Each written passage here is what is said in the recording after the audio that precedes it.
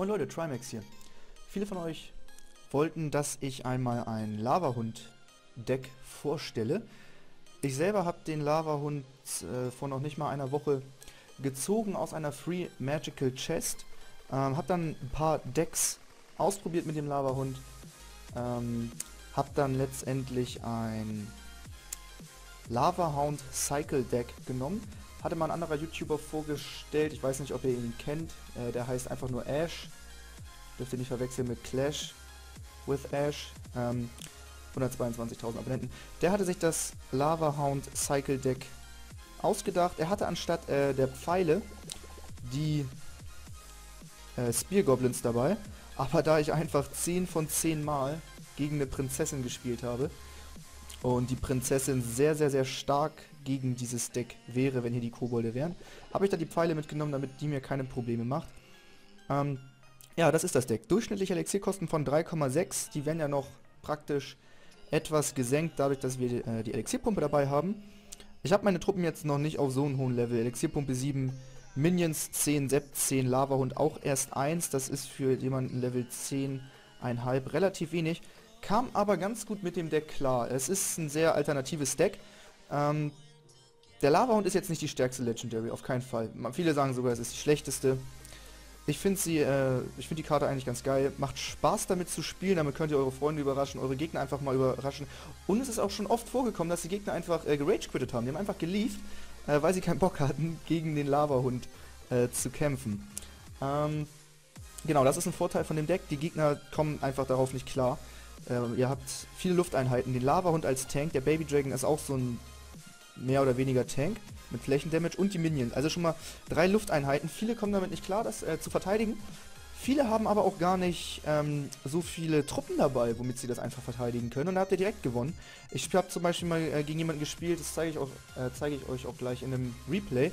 Der hatte irgendwie einen Riesen dabei, einen Sparky, eine Kanone äh, eigentlich nur Bodeneinheiten. Barbaren hatte der auch dabei und der, der, konnte gegen das Deck einfach gar nichts machen.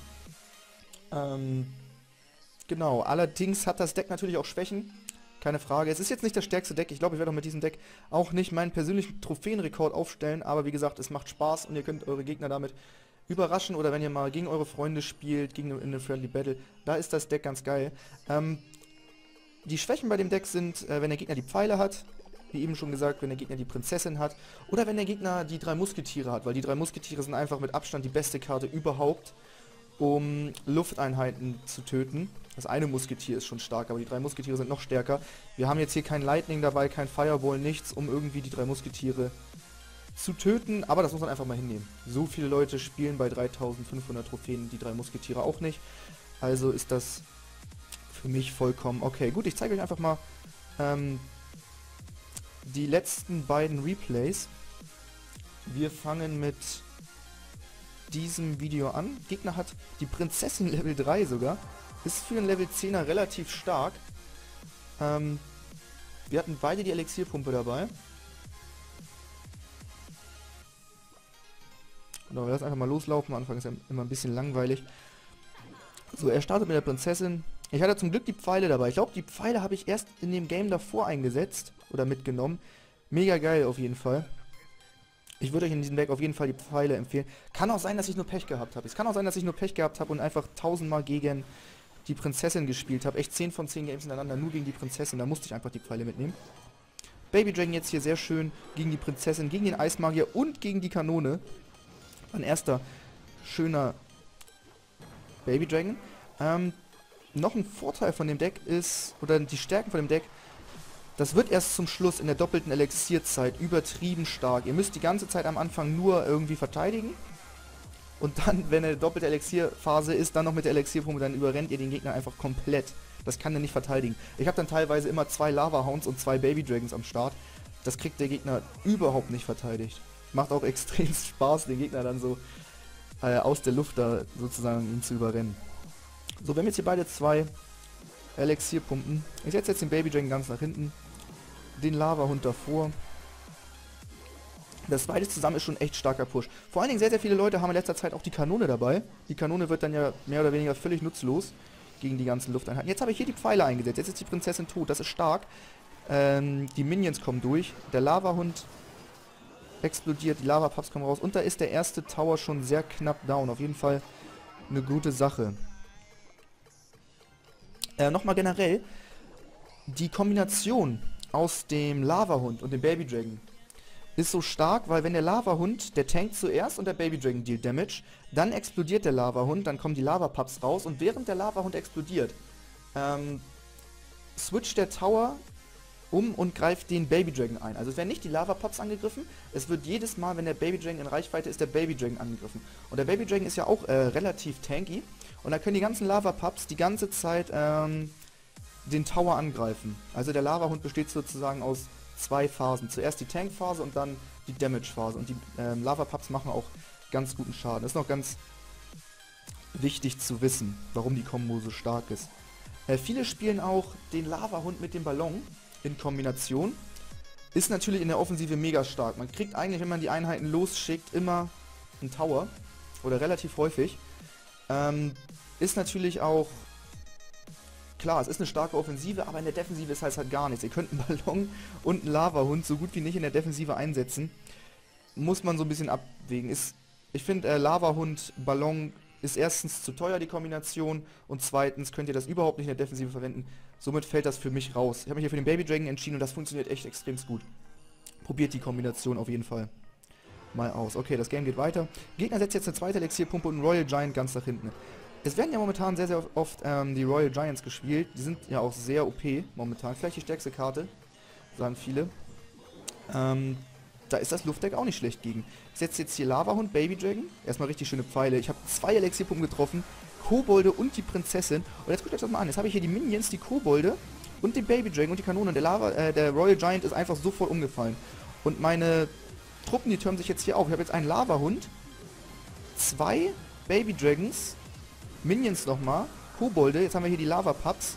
Zwei Baby Dragons, die sind schon ziemlich tanky. Ihr seht jetzt schon, wie lange die da überleben. Die gehen einfach nicht down. Jetzt kommt der nächste Lava-Hund. Ich habe euch das gesagt, wie stark die Kombination äh, am Ende des Games ist. Jetzt einen dritten, einen dritten Baby Dragon eingesetzt. Gut, der andere ist jetzt gestorben. Trotzdem noch eine sehr starke Kombination. Wieder schöne Pfeile, Kobold und Prinzessin getroffen. Jetzt fokussen die Lava-Pups. Jetzt seht ihr es nochmal ganz genau. Die Lava-Pups werden jetzt, wurden zuerst vom Tower jetzt nicht angegriffen. Ich glaube, ich hatte gerade nochmal gesappt, deswegen ist das umgeschwungen. Ähm, aber ansonsten würden jetzt die Baby Dragons, die Tower tanken und die, äh, die Lava Pups könnten jetzt die ganze Zeit Damage stehlen. Und geht der Tower noch down? Ne, das, das Game war leider zu Ende. Ich bin mir 100% sicher, dass der Tower noch gefallen wäre. Meine beiden Tower haben noch relativ viel Leben. Ihr seht es jetzt hier gerade nochmal. Der rechte Tower voll läuft, der linke Tower nur Hälfte Leben weg. Das war schon mal ein sehr gelungenes Game. Und jetzt zeige ich euch ein äh, noch witzigeres Game. Ihr seht es hier, ich habe es eben schon erwähnt. Der Gegner hatte fast nur Bodeneinheiten dabei. Hier den Sparky, äh, die Kanone, den Riesen, Barbaren, Elixierpumpe. Der Eiswizard ist jetzt nicht so stark gegen den Lava und den Baby Dragon, kann man nicht sagen. Die Prinzessin töte ich mit dem Pfeilen und dann hat er letztendlich nur noch den Magier. Er hat letztendlich nur noch den Magier am Start, um meine Lufteinheiten zu verteidigen. Ist ein ganz witziges Game geworden. Ich zeige euch das einfach mal. Am Anfang, muss man sagen, ist das Lava Hound Cycle Deck echt schwach. Da geht es einfach nur darum durchzuhalten und dann später in der doppelten Elixierphase könnt ihr richtig ranklotzen. Und da macht das Deck auch so viel Spaß. Wir setzen beide wieder am Anfang die Elixierpumpen. Er setzt eine Prinzessin. Ich setze schnell meine Minions ein, damit ich nicht allzu viel Elixier verliere, auch wenn sich das jetzt für mich nicht gelohnt hat. War ein guter Zug vom Gegner.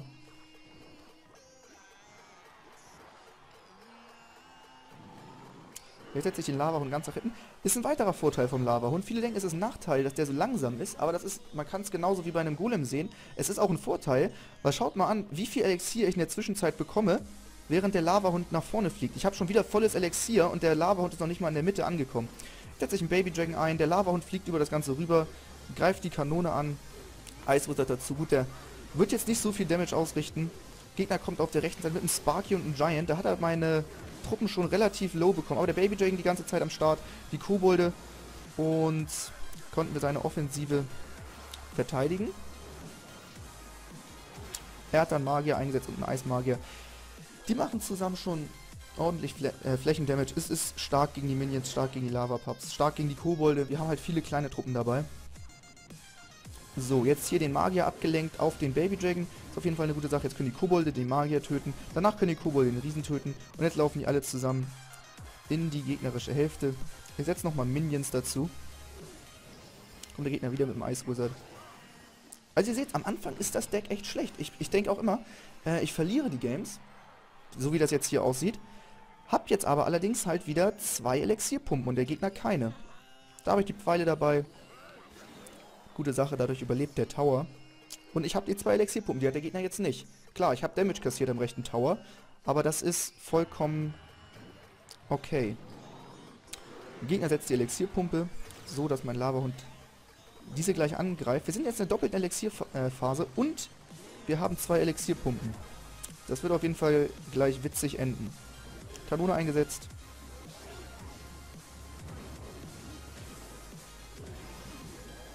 Den nächsten Lavahund. Ihr seht ja hier, wir haben zwei Lavahunde.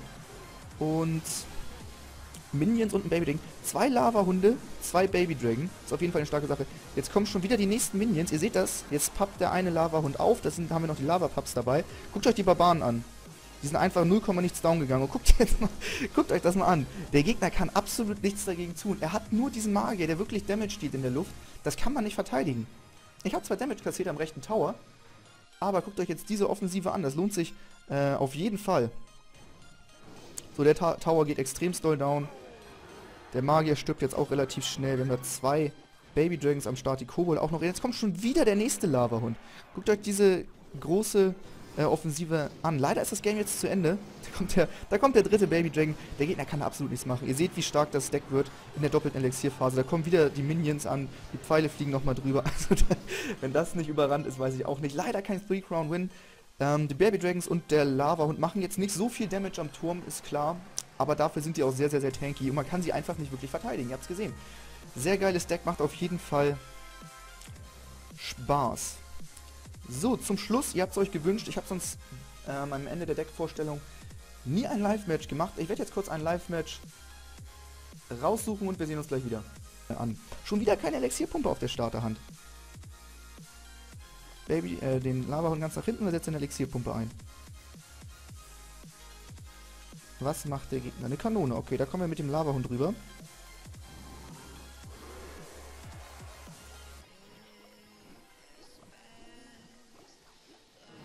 Pfeile eingesetzt gegen die Minion Horde. Hätte ich auch einen Sepp einsetzen können.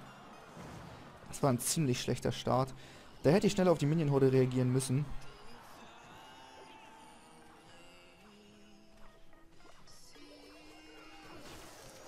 Hauen wir einen Sepp drüber und die Kobolde rein. Da kriegen wir ordentlich Damage. Der Gegner haut selber nochmal einen Sepp drauf. Und wenn die Barbaren am Tower sind, die machen ordentlich Damage. War jetzt ein schlechter Start.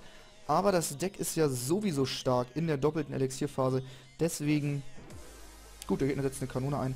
Das bringt uns zurück ins Spiel. Da setzen wir jetzt einfach nur eine Elixierpumpe, lassen seine Kanone auslaufen. Das sollte kein Problem sein. Baby Dragon eingesetzt. Gegen die Minions. Ist immer ein guter Tank. Ich bringe meine eigenen drei Minions dahinter. Zieh schon mal den Sepp, falls da irgendwas kommen sollte. Eine Valkyrie, ultra schlecht von ihm. Gut, haut dann Fireball rein, das war dann wieder okay. Bei Lavahund ganz nach vorne. Die Kobolde hinterher. Er hat jetzt ja seine Valkyrie nicht mehr ready. Und was setzt er jetzt ein? Oh Gott, aber die Barbaren ist natürlich stark. Er hat die Valkyrie und die Barbaren. Über den Boden werde ich den Gegner nicht angreifen können. Das wird nicht funktionieren. So, das wird jetzt hier ein guter Sepp. Da sterben seine Kobolde, seine Barbaren. Kriegen ordentlich Damage. Mein Lavahund, ihr seht auf der linken Seite, der Lavahund ist da ganz alleine am Turm.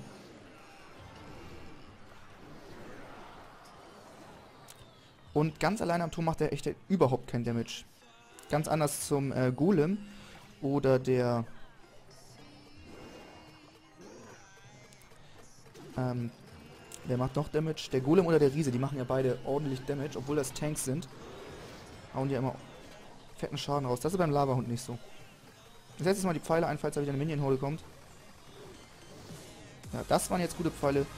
Die bringen uns auf jeden Fall zurück ins Spiel. Setzt da wieder eine Valkyrie ein, mega schwach. Und jetzt seht ihr schon, das ist die doppelte Elixierphase. Gut, er kriegt jetzt den Tower, kann er, den kann er haben. Wir sind in der doppelten Elixierphase. Da wird das Deck einfach mega stark. Ich setze nochmal die Pfeile ein. Vielleicht setze er nochmal eine Minion-Horde ein. Nee. Okay, auf der anderen Seite. Und äh, da seht ihr es. Ich habe echt mega schlecht gespielt am Anfang. Klare Fehler gemacht. Da ist das Deck schlecht. Da habe ich schlecht gespielt. Und dann zum Schluss in der doppelten Elixierphase überrennt man den Gegner so brutal. Da macht das Deck auch einfach Spaß. Ihr habt gesehen, ich hatte glaube ich wieder drei Baby Dragons, zwei Lava-Hunde, mehrere Mal die Minions reingespammt, die Kobold immer wieder durchgebracht, Pfeile und Seps drüber geworfen. Das sind alles billige Karten, außer der Lava-Hund halt. Ähm, ja, geile Sache. Ich zeige euch das Deck hier nochmal. Kopiert euch das Deck. Übt ein paar Runden. Spielt auch mal gerne gegen eure Freunde. Äh, überrascht sie damit. Ist eine, ist eine witzige Sache. Vielleicht stellt ihr damit ja auch euren neuen persönlichen Trophäenrekord auf. Äh, falls das der Fall sein sollte, würde ich mich freuen, wenn ihr eure Erfolge mit dem Deck in die Kommentare schreibt. Alles klar, das wär's dann soweit. Ich wünsche euch viel Spaß mit dem Deck. Wir sehen uns beim nächsten Mal. Haut rein, Leute.